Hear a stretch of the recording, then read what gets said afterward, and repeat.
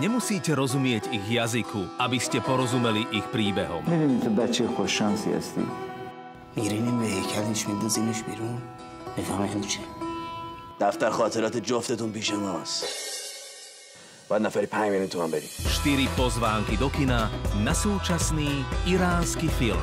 Dielo ocenené na medzinárodných festivaloch v Benátkach aj v Bratislave. Bez dátumu, bez podpisu.